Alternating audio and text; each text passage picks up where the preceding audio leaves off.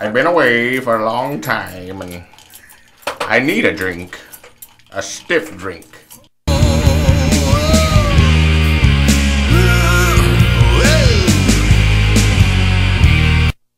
And I'm gonna hunt it down and I'm gonna get those graham crackers that they stole from me in 72!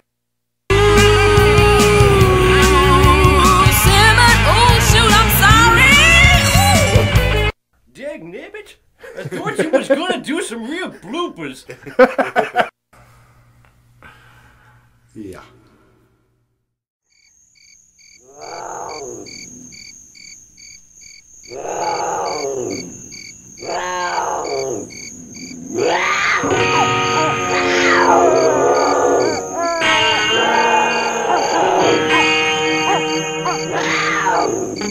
Ooh.